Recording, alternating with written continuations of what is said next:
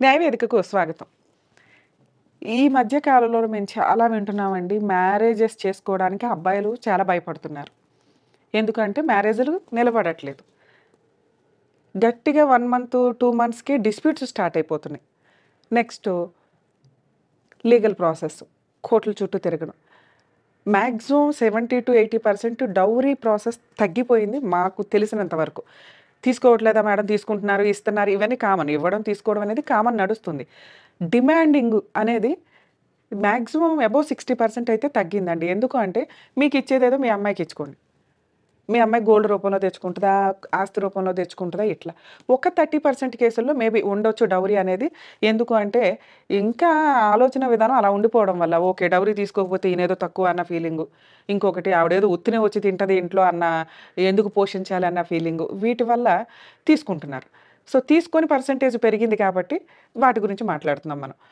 ఈ కేసులు వచ్చినప్పుడు ఫ్యామిలీ మ్యాటర్స్లో ఆ అమ్మాయి ఒకవేళ అడ్జస్ట్మెంట్ అవ్వలేక ఏదైనా జరిగే డిస్ప్యూట్స్ వల్ల మిస్అండర్స్టాండింగ్స్ వల్ల బయటకు వెళ్ళిపోయినప్పుడు వేస్తున్న కేసులు సెటిల్మెంట్ చేసుకుంటే ఓకే ఏదో ఒక రూపాయి పోతే తర్వాత సంపాదించుకోవచ్చు. కానీ time valuable age mental tension ఇవన్నీ కూడా ఒకప్పుడు ఏదో క్రైమ్ చేస్తేనో తప్పు చేస్తేనో పోలీస్ స్టేషన్లకి కోర్టులకి వెళ్ళాల్సిన కేసుల్లో మ్యారేజ్ చేసుకుంటే పోలీస్ స్టేషన్లో కోర్టులకి వెళ్తున్నారు. అది చాలా భయంతో కూడిపోయిన వ్యవహారం అయిపోయి ఖచ్చితంగా జెంట్స్ ఒక అడుగు వెనక్కే వేస్తున్నారు మ్యారేజ్లు చేసుకోవడానికి. ఎందుకు అంటే ఇంకప్పుడే ఫ్యామిలీ డిస్ప్యూట్స్ ఎందుకు అన్న ఒక భయం.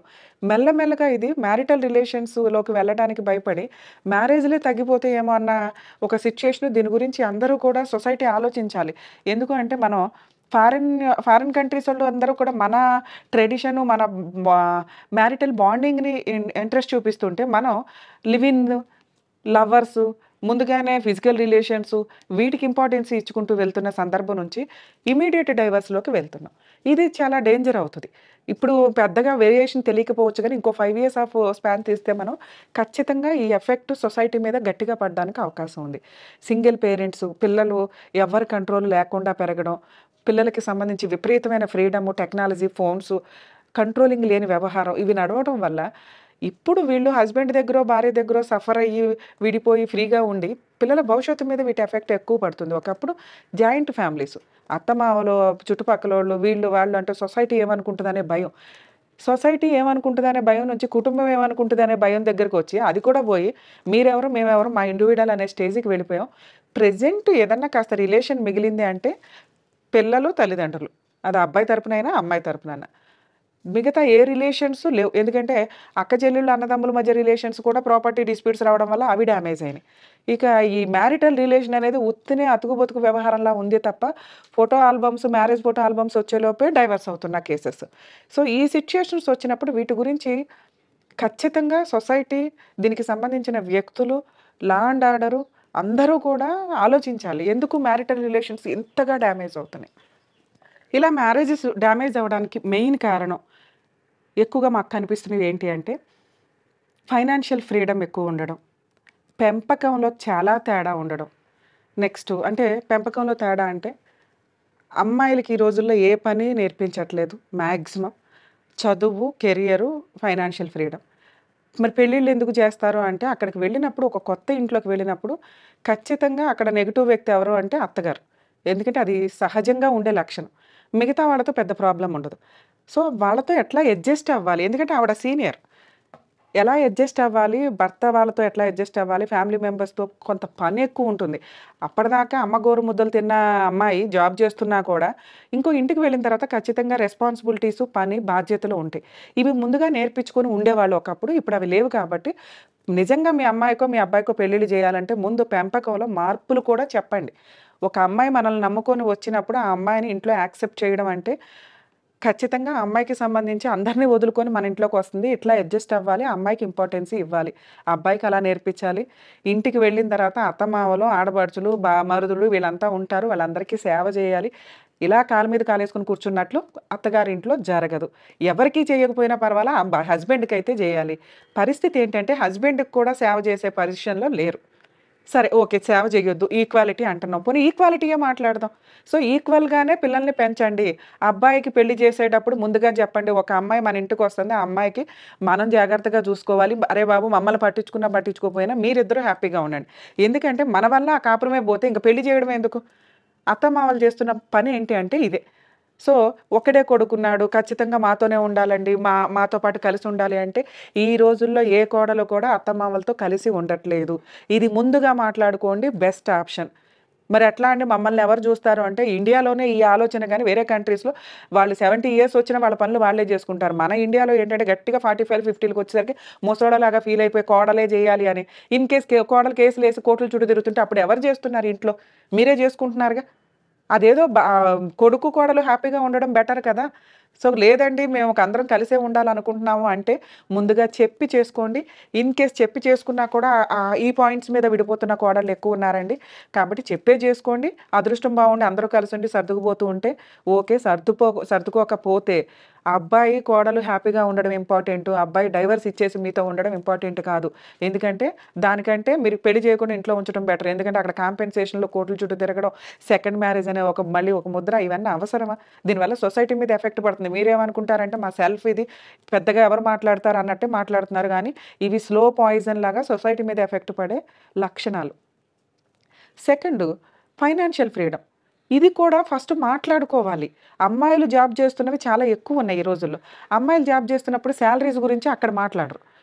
పెళ్ళిలోనే మాట్లాడుకోవాలి. అమ్మాయి శాలరీ ఎంత అబ్బాయి శాలరీ ఎంత?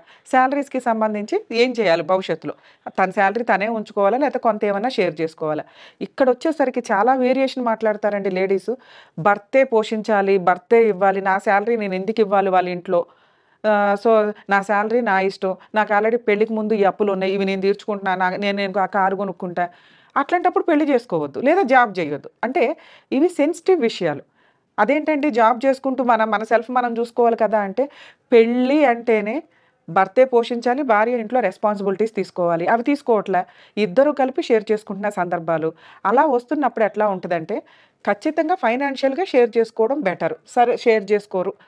ఏదైనా ఒక ప్రాపర్టీ కొనుక్కునేటప్పుడు దాని మీద ఇన్వెస్ట్మెంటా? ఎట్లా? అంటే బాండింగ్ ఉంటే ఏం చేసినా పర్వాలేదు బాండింగ్ లేనప్పుడు ఇవన్నీ పాయింట్స్ వస్తాయి. నువ్వు నా ఇంట్లో ఉంటూ నా ఇంట్లో తింటూ నువ్వు వెళ్ళి జాబ్ చేసుకుని మీ పేరెంట్స్కో లేకపోతే నువ్వే కొనుక్కుంటే నాకేంటి యూజు? అనే పాయింట్ల మీద పోట్లాడుతున్న వాళ్ళు ఎక్కువ ఉన్నారు సో ఈ ఫైనాన్షియల్ శాలరీస్కి సంబంధించి ఖచ్చితంగా ముందే మాట్లాడుకోండి. ఎవరికి ఇవ్వాలి? ఎట్లా రా దాచుకోవాలి? ఏం చేయాలని జాయింట్ అకౌంటే ఓపెన్ చేసుకుంటారా? లేదా ఏదైనా ప్రాపర్టీ కొనుక్కుంటారా అనేది ఆలోచించుకోవడం. ఇక హస్బెండ్ శాలరీ మీ ఇంట్లో వాళ్ళకి పంపించొద్దు నాకు లెక్క చెప్పాలి నాకు ఇవ్వాలి అంటే అలా కుదరదు. ఎందుకంటే హస్బెండ్కి తను ఆల్రెడీ రేపొద్దుట ఏది జరిగినా రెస్పాన్సిబిలిటీ అతను తీసుకుంటూ ఉంటాడు కాబట్టి అతని శాలరీని అడగకుండా ఉండడం బెటర్. ఎందుకంటే ఇల్లు పోషించేది అతనే. అమ్మాయిల శాలరీకి సంబంధించి ముందుగా మీరంతా మాట్లాడుకుంటే కొంచెం ఆ డిస్ప్యూట్స్ని తగ్గించడానికి అవకాశం ఎక్కువగా ఉంటుంది. ఇక మ్యాక్సిమం కొన్ని కేసుల్లో చూస్తామండి జాబులు చేసే కెపాసిటీ ఉండి బిఫోర్ మ్యారేజ్ చేస్తూ కూడా కేసులు వేసి వాళ్ళ దగ్గర నుంచే డబ్బు వసూలు చేయాలి అని ఆ ఇరవై వేలకో ముప్పై వేలకో కక్కుర్తి పడి మెయింటెనెన్స్ కేసులు వేసుకుంటూ కూర్చుంటున్నారే తప్ప అరే నేను బయటికి వెళ్ళి నా కాళ్ళ మీద నేను నిలబడగలను నేను ఇంతకంటే ఎక్కువ సంపాదించగలను అనే కెపాసిటీ ఉండి కూడా ఈ సైకలాజికల్ ఇది తోటి ఓకే భర్తే ఇవ్వాలి ఒకసారి పెళ్ళి చేసుకున్నాడు పిల్లల్ని ఆడే పోషించాలి ఇలా అనుకుంటూ అతను ఇవ్వాలి అతని దగ్గర వసూలు చేయండి. మీరు కూడా మీ కష్టం ఏంటి? మీ మీ కాళ్ళ మీద పెళ్ళి చేసుకున్నాం కాబట్టి అట్లా తి- పడి తినాము అనే ఉద్దేశం ఉండకుండా మన ఎనర్జీని వేస్ట్ చేయకుండా సంపాదించుకోండి గుడ్ విల్ తోటి అనేది నా ఉద్దేశం. కొంచెం అది కూడా ఆలోచించుకోవాలి. ఇక నెక్స్ట్ పాయింట్ సైకలాజికల్ ప్రాబ్లం. చాలా సివియర్ సైకలాజికల్ ప్రాబ్లం అండి. ఇంత చిన్న మాటకు కూడా ఎవరు ఎవరితోటి అడ్జస్ట్ అవ్వరు ఎవరు ఎవరితోటి మాట్లాడట్ల. ఎంత సివియర్గా ఉంటాయి అంటే మీరు ఖచ్చితంగా ఒక ఇరవై మందిని నుంచో పెడితే అందులో ఎయిటీన్ మెంబర్స్కి సైకలాజికల్ ప్రాబ్లం ఉంటుంది. అది ఏ రేంజ్లో ఉంటుంది అంటే ఒక ఒక సిచ్యుయేషన్ బట్టి ట్రిగర్ అవ్వడం కొన్ని ఉంటే ఇక ఇదే పని. ఇంకా వాళ్ళకి వాళ్ళ అమ్మ నాన్న వాళ్ళ ఫ్యామిలీ మెంబర్స్ తప్ప భర్త వీళ్ళనే అత్తమామలు వీళ్ళనే వీళ్ళు వీళ్ళనే. ఇక కోడలు అనే అమ్మాయి జీవితకాలంలో ఈ అత్తగారు మామగారులు వీళ్ళంతా ఉన్నంత కాలం బయట అమ్మాయి. ఎందుకంటే విడిపోవడానికి అవకాశం ఉన్న ఒక రిలేషన్ అయిపోయింది ఇప్పుడు అది. కానీ కోడలు అనేవాళ్ళు ఎవరు? ఒకప్పుడు అత్తగారు ఆ ఇంటికి కోడలే. కానీ కుటుంబానికి సంబంధించి ఆ ఆ ఇంటి పేరు కానీ ఆ గోత్రం కానీ ఆ జ వాళ్ళ జనరేషన్ కానీ ముందుకు తీసుకెళ్ళే వ్యక్తి ఎవరు? కోడలు. సో ఒక్కసారి ఒక అమ్మాయి మనల్ని నమ్ముకొని వచ్చినాక ఆ అమ్మాయికి పూర్తి ఇంపార్టెన్స్ ఇవ్వాల్సిందే. ఇద్దరు పిల్లల్ని పెట్టుకొని డైవర్స్లో గోంగూరలో అని బయటికి పంపించేస్తూ ఉంటే ఆ పిల్లలు అనాథల్లాగా పెరుగుతారు. జీవితకాలంలో తల్లిదండ్రుల దగ్గర కలిసి ఉండే హక్కు వాళ్ళకు ఉండదు. ఆ ఆ పాపం ఎవరేసుకుంటున్నట్లు? ఎక్కడ విడిపోవాలి? ఎట్లాంటి కేసుల్లో విడిపోవాలి? చాలా సివియర్ క్రూయాలిటీ ఉన్న కేసుల్లో అసలు ఇట్లాంటి వ్యక్తి ఇంకా నీకు ఇంపార్టెన్స్ ఇవ్వట్లేదు అడ్డదారుల్లో ఉన్నాడు దారుణమైన సిచ్యువేషన్లో ఉన్నాడు అన్నప్పుడే మీరు విడిపోవడానికి ఆలోచించాలి తప్ప చిన్న చిన్న విషయాలక అబద్ధాలు చెప్పారని అక్రమ సంబంధాలు ఉన్నాయనో లేకపోతే ఇంకోటి అసలు అక్రమ సంబంధాల దాకా ఎందుకు వెళ్తున్నారు వీళ్ళంతా? ఇవన్నీ కూడా ఆలోచించుకోవాలి. సైకలాజికల్ ప్రాబ్లం చాలా సివియర్గా ఉంటుందండి. ముందుగా అటువంటి టెస్ట్లు ఏమైనా ఉంటే ట్రై చేయడం బెటర్ లేదా ఏదైనా డిస్ప్యూట్ వచ్చినప్పుడు ఇద్దరు ఫ్యామిలీ కౌన్సిలింగ్స్ సైకలాజికల్ కౌన్సిలింగ్స్కి వెళ్ళడం ఇంకొక చాలా బెస్ట్ ఆప్షన్ రెండు అదే నెక్స్ట్ మాట్లాడుకుంటే అక్రమ సంబంధాలు. అరే బాబు ఎన్ని అక్రమ సంబంధాలంటే పది కేసులు తీసుకుంటే అవన్నీ ఊగిసలాడుతున్నాయి అటు ఇటు ఇటు అటు. ఒకప్పుడు అక్రమ సంబంధాలు అంటే మేబీ ఉన్నా సీక్రెట్గా ఉండేవి లేదా లెవెల్గా ఉండేవి. ఎక్కడైనా ఇవి స్టార్టింగ్ నుంచి ఉన్నాయి. కానీ ఇప్పుడు చాలా సివియర్ అయిపోయినాయి. ఎంత సివియర్ అయిపోయినాయి అంటే ఫోన్స్ చేతిలో ఉండటం వల్ల అర్ధరాత్రులు ఫోన్లు మాట్లాడుకుంటూ ఎవ- ఎవరెవరితోనే మాట్లాడుతూ ఖచ్చితంగా నైంటీ పర్సెంట్ కేసుల్లో ఇవి ట్రిగర్ అవుతున్నాయి. పైగా సుప్రీంకోర్టు జడ్జిమెంట్స్ వల్ల ఎట్లా అయిందంటే అమెండ్మెంట్స్ వల్ల ఈ అక్రమ సంబంధాలు పెట్టుకుంటే ఏం చేయగలరు? డైవర్స్ ఇస్తారు అన్నట్లే అవుతుంది తప్ప రిలేషన్స్ డ్యామేజ్ అవుతున్నాయి. అవతల వ్యక్తి యొక్క జీవితం నాశనం అవుతుంది. మిమ్మల్ని నమ్ముకొని వచ్చిన పార్ట్నర్ జీవితం నాశనం అవుతుంది. మిమ్మల్ని నమ్ముకొని ప్రపంచంలోకి వచ్చిన చిల్డ్రన్స్ జీవితాలు నాశనం అవుతున్నాయి. క్షణికావేశంలోనో లేకపోతే ఒక ఐదు నిమిషాలు పది నిమిషాలు ఎంజాయ్మెంట్స్ కోసమో ఈ అక్రమ సంబంధాలు పెట్టుకోవడం వల్ల అవతల వ్యక్తి జీవితంతో పాటు మీ వే- మీ జీవితాలు నాశనం అవడంతో పాటు కోట్ల చుట్టూ తిరగాల్సిన పరిస్థితి వస్తుంది. దానితో పాటు ఈ ప్రాసెస్లో ఈ అక్రమ సంబంధాలు ఉంచుకొని చేస్తున్న రిలేషన్స్ ఎట్లా ఉంటున్నాయంటే వాళ్ళు జీవితకాలం ఏమీ హ్యాపీగా ఉండట్లా. ఎందుకంటే ఆ విషయం బయటపడినంత వరకు బాగానే ఉంటుంది. వన్స్ ఒకసారి బయటపడిన తర్వాత క్యారెక్టర్ పడిపోయే కెరియర్ పడిపోయే సొసైటీలో కుటుంబం లేకుండా అయిపోయే ఇన్ని నడుస్తున్నాయి కాబట్టి అరే ఆ పది నిమిషాల హడావుడికి ఇన్ని పోగొట్టుకోవడం అవసరమా? అక్రమ సంబంధాలు ఎప్పుడు డేంజరేనండి నిజంగా మీ వైఫ్ మీ పార్ట్నర్ మిమ్మల్ని బాగా లవ్ చేయట్లేదని మీకు అనిపిస్తే మీరు చేయాల్సిన పని ఏంటంటే డైవర్స్ తీసుకొని లీగల్గా అన్ని న్యాయపరంగా చేయాల్సినవి చేసి ఆ తర్వాత వెళ్ళండి. సో రిమైనింగ్ పేరెంట్స్ ఇన్వాల్వ్మెంట్ విపరీతంగా పేరెంట్స్ ఇన్వాల్వ్మెంట్ అండి. రెండు కేసుల్లో కూడా. అత్తమావలకి నేను చెప్పేది అదేనండి అబ్బాయి తరపు వాళ్ళకి. ఒక అమ్మాయి మనల్ని నమ్ముకొని వస్తుంది. ఆ అమ్మాయికి సంబంధించి ఆ అమ్మాయి ఇంటిని కంటిన్యూ చేయాలి. మీ అబ్బాయిని అపరూపంగా చూసుకోవాల్సిన అమ్మాయి. ఇక ఆవిడ్ని ఆ అబ్బాయిని వదిలేయండి. వాళ్ళ మనని వాళ్ళు బతుకుతారు. వాళ్ళకి ఏదైనా కష్టం ఉంటే మేము ఉన్నాంరా బాబా అని వెళ్ళండి తప్ప. మమ్మల్ని పోషించాలి మాకు రెస్పెక్ట్ ఇవ్వాలి మాకు ఫోన్ చేయాలి మమ్మల్ని పేరెంటానికి పిలవాలి మాకు ఇంపార్టెన్స్ ఇవ్వాలి. మర్చిపోండి. ఎందుకంటే సొసైటీ మారిపోయింది. ఇంత గుడ్ విల్ ఇచ్చే కోడలు మీకు దొరికిందంటే మీరు అదృష్టవంతులే. దొరకలేదు అంటే మీ అబ్బాయి ఉన్నంతలో హ్యాపీగా ఉండడానికి మీరు చేయగలిగే పుణ్యం ఏంటి అంటే వాళ్ళని హ్యాపీగా ఉంచడానికి చేయాల్సిన పనులు చూసుకోవడం. దూరంగా ఉండడం. అది మేము ఎంతకాలం పోషించి పిల్లాడిని చదివించి అమెరికాలు పంపించి ఆవకాయ బద్దలు పెట్టి ఇట్లా వదిలేస్తాక మేడం అంటే పెళ్ళి చేయకండి మీ దగ్గరే ఉంచుకోండి.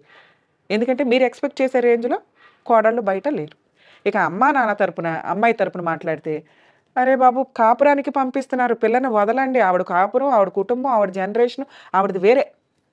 ఇంకా మీతోగే మీరే పట్టుకొని వేలాడతాము మా అమ్మాయికి తుమ్మితే మేము వెళ్తాం దగ్గితే మేము వెళ్తాం అంటే కాపురాలు నాశనం అవుతున్నాయి.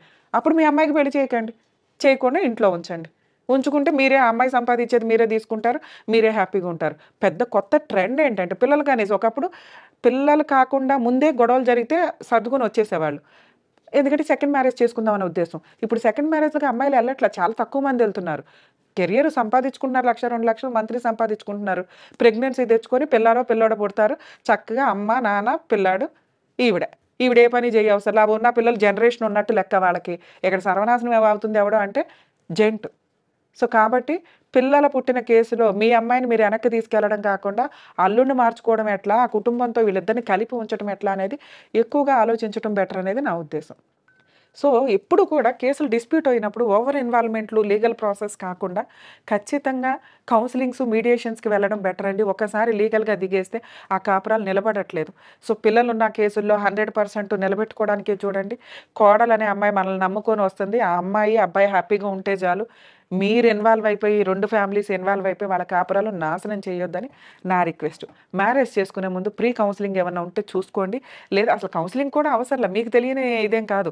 ఇక లవ్ మ్యారేజ్లు ఇవి జరుగుతున్న కేసుల్లో కూడా ఇవి డిస్ప్యూట్స్ కామన్గా నడుస్తున్నాయండి. సో లవ్ మ్యారేజ్ చేసుకున్నప్పుడు అమ్మాయి ఆలోచనలు అలవాట్లు అబ్బాయి ఆలోచనలు అలవాట్లు మీకు తెలుసు కాబట్టి కొంత అడ్జస్ట్ అవుతారు అడ్జస్ట్ అవుతున్నారు. అలానే అన్ని చోట్ల లవ్ మ్యారేజ్లు చేసుకోమని చెప్పలేం కదా. పేరెంట్స్ని ఒప్పించి చేసుకోవాల్సినవి లవ్ మ్యారేజ్లు మీరిద్దరు పారిపోయి చేసుకునే వాటిని లవ్ మ్యారేజ్లు అంటారు. ఒళ్ళుకోవికి చేసుకోవడం అంటారు. పేరెంట్స్ని ఒప్పించడానికి కొంత టైం తీసుకొని చేసుకోవడం. ఇంట్లో వాళ్ళు చూసిన సంబంధానికి ఇమీడియట్గా ఇమ్మీడియట్గా పెళ్ళిళ్ళు కాకుండా ఎంగేజ్మెంట్కి మ్యారేజ్కి కాస్త టైం తీసుకుంటే ఈలోపు ఏమైనా బాగోతాలు ఉంటే బయటపడితే లేదా మీ ఇద్దరి మధ్య బాండింగ్ ఇంక్రీజ్ అయ్యి కరెక్ట్గా వీళ్ళే నా హో సోల్ పార్ట్నర్ అనే ప్రాసెస్ వచ్చినప్పుడు ఖచ్చితంగా కంటిన్యూ అవ్వడానికి అవకాశం ఉంది. మెయిన్ మ్యారిటల్ రిలేషన్లో అబ్బాయే పోషించాలి అని కాదమ్మా. ఇద్దరు ఇద్దరు ఎవరు సంపాదిస్తే వాళ్ళు? నిజంగా మీ హస్బెండ్ మిమ్మల్ని బాగా లవ్ చేస్తున్నాడు. ఈలోపు ఏదో జరిగింది. అబ్బాయిని వదిలేసి వెళ్ళిపోతారా? అది చాలా దారుణం కదా. అంటే అబ్బాయే పోషించాలి లేకపోతే లేదు అంటే అట్లా భర్త పోషించినప్పుడు అతనికి ఫైనాన్షియల్ సపోర్ట్గా మోరల్ సపోర్ట్గా అన్ని రకాల సపోర్ట్గా ఉండడం అంటేనే స్త్రీ. అలాగే భార్యకి ఏ కష్టం వచ్చినా ముందుండి చూసుకోవాలి. తల్లిదండ్రులకి దూరంగా ఉంచి చూసుకుంటావా ఇంట్లో పెట్టి చూసుకుంటావా ఆ రెస్పాన్సిబిలిటీతో పాటు వాళ్ళకంటే ఎక్కువగా చూసుకోవాల్సింది భార్యని. ఇవన్నీ కాస్త మోరల్గా ఈచ్ కుటుంబానికి ఇవన్నీ ఓవరాల్ అన్నే కేసులు ఒకే కేసులో చెప్పట్లేదండి. ఈ కేసెస్ అన్ని different different each case different వాళ్ళ దాంట్లో ఇప్పుడు నేను చెప్పిన వాటిలో ఏ ప్రాబ్లం ఉందో అవి రా రిపీట్ అవ్వకుండా అవి రాకుండా చూసుకొని మ్యారిటల్ రిలేషన్స్ని కాపాడాలని నా రిక్వెస్ట్ Ow!